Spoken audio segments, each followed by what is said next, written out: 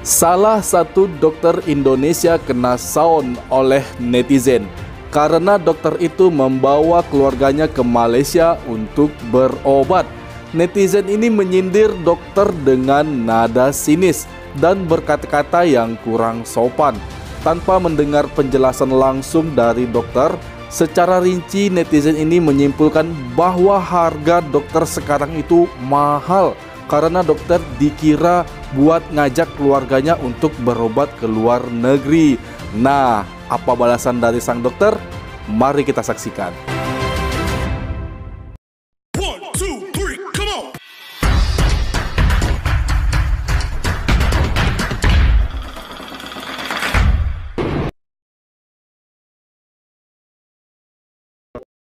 Assalamualaikum warahmatullahi wabarakatuh and welcome back to my youtube channel. Halo guys, aku hari ini senang sekali karena kita dapat bertemu lagi di video ini Dan tentunya aku sangat berharap sekali semoga kita semua dalam keadaan baik-baik saja. Bukan hanya kita bahkan seluruh keluarga kita dan semua orang yang kita sayangi beserta orang yang ada di sekitar kita. Semoga semuanya juga dalam keadaan sehat dan kita diberikan kemudahan dalam rezekinya Dalam kita mencari nafkah di mana pun kita berada, amin.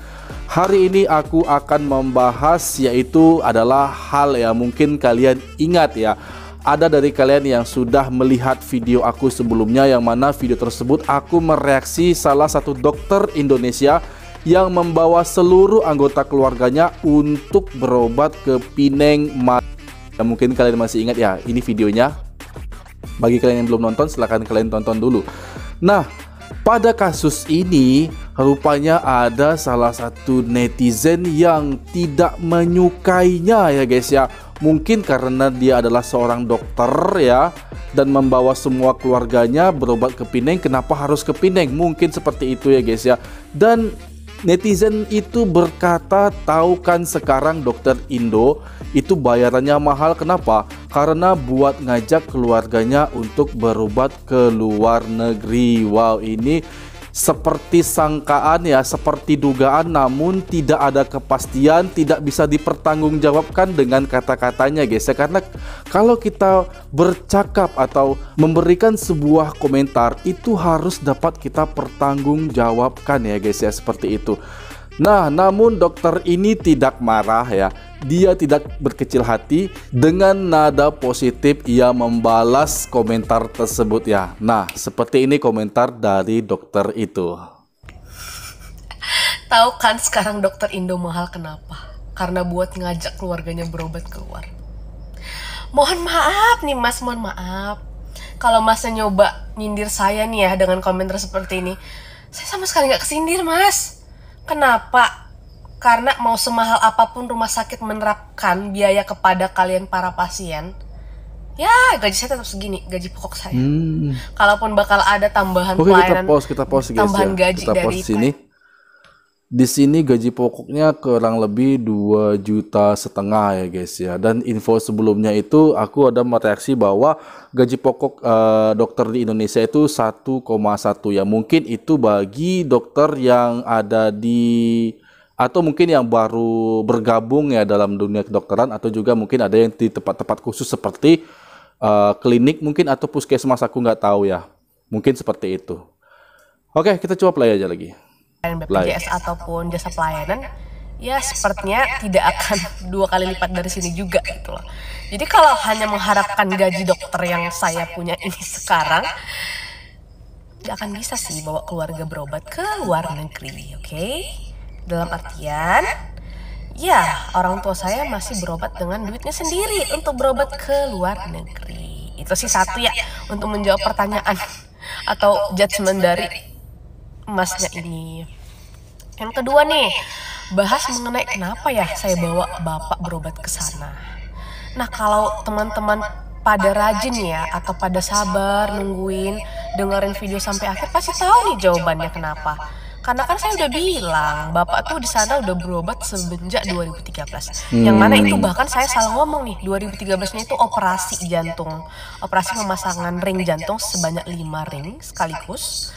Sementara kalau berobat itu dari 2009 yang saya mana di 2009 ini, saya tuh masih SMP masih SMP bahkan SMA di mana aja belum tahu apalagi mau tahu dok bakal jadi dokter apa enggak gitu loh. Jadi dari semenjak 2009 keluarga saya sudah menetapkan untuk berobat ke sana, ke Pineng. Dan kalau kita bicara mengenai kondisi pengobatan jantung dari 2009 sama sekarang jauh sekali bedanya. Di 2009 aja bahkan rumah sakit jantung ada Malik Medan, kita bicara Medan ya, Medan.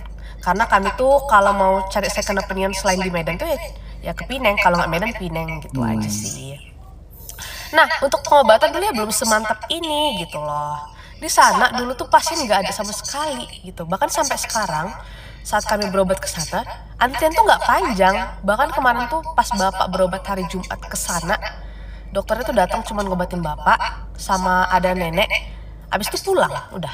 Itu aja pasien tuh hari itu. Jadi nggak sebegitu rame sih.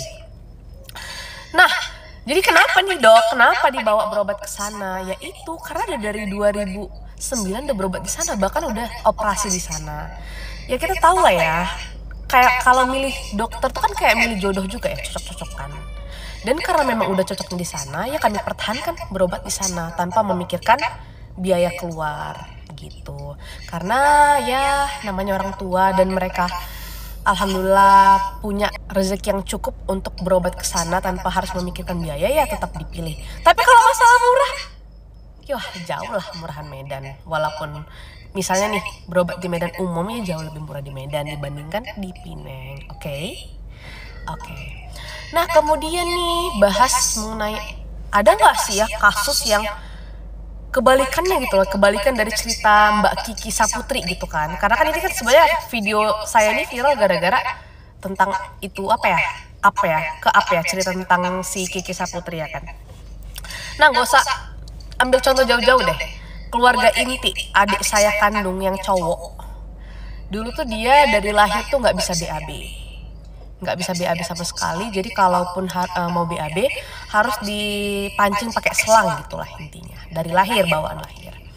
Nah pada saat itu kan adikku lahir 2004 ya 2004 di 2004 itu uh, orang tua tuh langsung nyari pengobatan tuh ke Malaysia.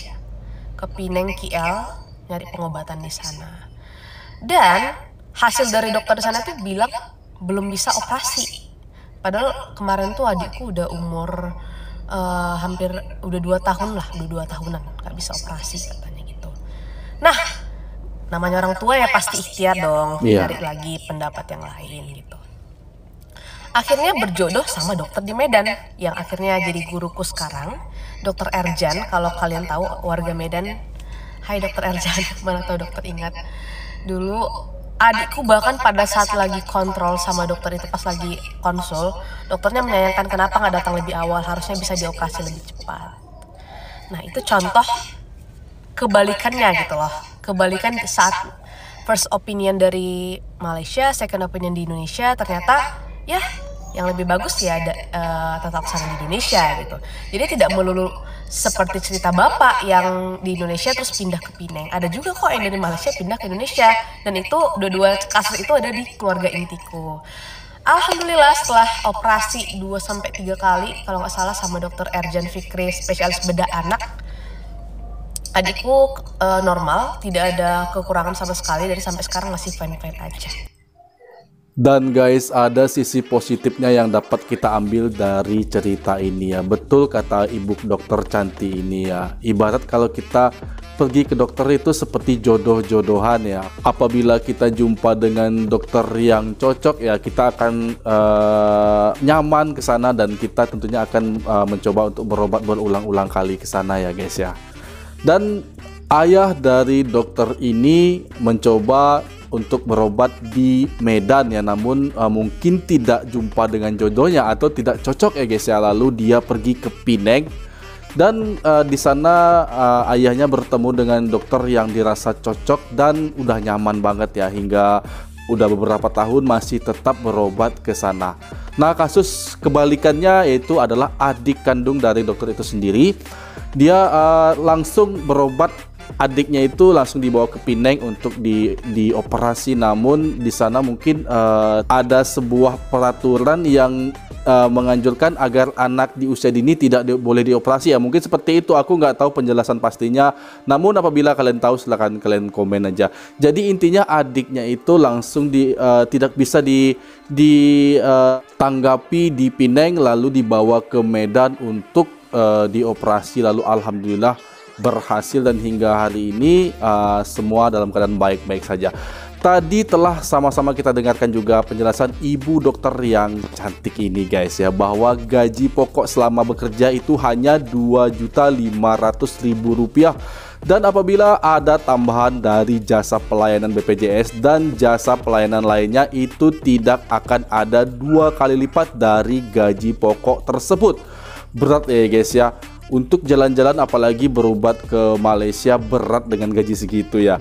Nah, jika netizen ini sedikit bersabar ya dan melihat video sampai akhir ya, ini video yang telah diupload sebelumnya ya maksudnya guys ya. Maka ia akan paham mengapa uh, bahwa berobat ke Malaysia itu karena sudah cocok ya. Nah, hal ini kita balikan lagi kepada jodoh-jodohan tadi ya guys ya. Karena tidak semua dokter itu uh, bisa atau berjodoh dengan pasiennya seperti itu ya. Dan ada juga yang cocok, ada juga yang tidak cocok. Nah, apabila ketemu yang cocok, maka kita akan betah berobat terus-menerus di sana, guys ya.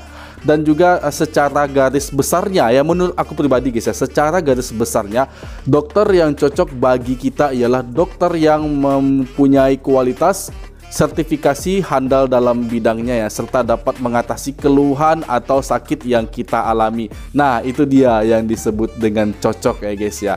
Itu menurut aku, entahlah menurut Anda semua kalau Anda ada tanggapan silahkan kalian komen di bawah ya. Baik demikian tadi video dari aku, semoga Anda semua terhibur dan aku sangat suka sekali dengan video yang sangat informatif yang baru saja aku reaksi aku ucapkan terima kasih kepada Anda yang telah mensupport channel ini. Bagi kalian yang belum subscribe silahkan kalian tekan dulu tombol subscribe dan aktifkan notifikasi bell agar kalian tidak ketinggalan update video terbaru dari channel ini. Aku mohon undur diri, mohon maaf atas segala kesalahan dan kekurangan. Wassalamualaikum warahmatullahi wabarakatuh.